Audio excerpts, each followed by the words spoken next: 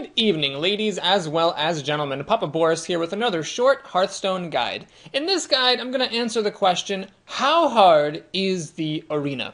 I wanted to answer this question in a video because, frankly, I've seen some pretty bad misinformation floating about Reddit, the Blizzard forums, and the internet at large in general since pretty much the earliest days of the Hearthstone beta. I've seen people make comments like, "Oh, it's uh, it's not too difficult to get up to 6 wins." Like, "Oh, if you watch a few streamers, it shouldn't be too hard to get up to, you know, 7 or 8 wins most of the time." And these are pretty flagrantly in, inaccurate statements.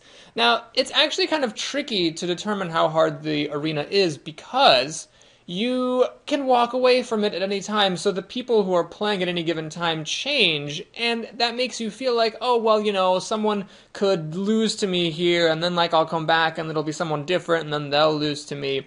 But at the end of the day, it's a closed system. At the end of the day, every time someone wins a game, someone else has to lose a game. So everybody can't be a champion. And in fact, you can put a pretty close, pretty accurate mathematical cap on how many of the entries that are purchased for the arena end up reaching a particular number of wins. So if we imagine Hearthstone to be a one, excuse me, to be an 8,192 person tournament, we can actually track what happens from round to round. So in the first round, you know, half the people go 1 and 0, the other half of the people go 0 and 1. In the second round, you know, half of the people who are 1 and 0 manage to go up to 2 and 0, the other half drop back to 1 and 1. I'm not going to take you all the way through this, don't worry, but if you want to check out my math, if you want to see the full work, you can click on the link in the description. The bottom line is that at the end of the day, we can actually track where all 8,192 of those people end up and get a pretty accurate read on what percentage of Hearthstone players, or to be very precise, what percentage of Hearthstone entries, or the, each time the purchase button is clicked on the arena menu, what percentage of those end up reaching a particular number of wins. And I'm going to go ahead and scroll to that.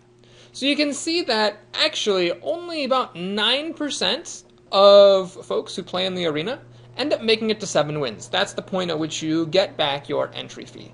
Only 0.65% of people make it to 12 wins. Now, that's 0.65%, so that's like 0.0065. Just so we understand what percentage of people are actually getting this far, in the National Football League, there are 32 football teams. If you pick a football team completely at random, it is almost five times more likely to win the Super Bowl than a random Hearthstone player is to get up to 12 wins. Almost five times. So it's it's really difficult to get up here. Now you obviously have a lot more chances. You know you can play Hearthstone Arena every day, whereas the Super Bowl is only once a year. But proportionally, that's pretty true. It's actually almost five times as hard to get to 12 wins as it is to take a football team all the way to the Super Bowl and win the championship. Now, even if we look at some of the lower numbers, like six wins, 14.45%, that's about one in seven. So basically, if you want to get to six wins consistently, you need to be better than six out of seven of all of the people who play Hearthstone. Even if you want to make it to four wins, look, only 34.38% roughly of people who play Hearthstone end up getting to four wins and above which makes sense because a hit, four wins, that may not be a particularly impressive achievement, but you are winning more than you're losing. And it is impossible, mathematically, for everyone to win more than they're losing because the losses have to come from somewhere. So you almost have to be in the top third of all players just to get to four wins, which we don't even think is that impressive. Now, at three wins, it's exactly 50%. This is not just like roughly average, it is mathematically accurate to say that three wins is exactly the median. Because it makes sense. You win just as many games as you lose, so half of the people do that or better, half of the people do worse than that. And in fact, even if you look all the way down at one win, this is still only 87.5% of arena entries even make it to a single win. That means one out of every eight players is knocked out with zero wins in the arena. Just to put that into perspective, okay? If you looked at a million Hearthstone players, about 125,000 of them would not get a single win in the arena. It's it's hard. Now, I don't mean to make this video to scare folks away from playing in, in the arena. In fact, I encourage everybody to play because the prizes have actually gotten pretty good. They used to be pretty lame. Now, even at the lower ranks, you still get decent gold amounts and there's still a pretty strong incentive to play in the arena. But you need to appreciate the fact that it's not just like a fuzzy wuzzy willy nilly appraisal of how difficult the arena is. There are actually mathematical answers to this. Only a particular percentage of folks can reach any number of wins. Now, the good news is that most people aren't really trying to get good. Most people just, you know, play and that's that.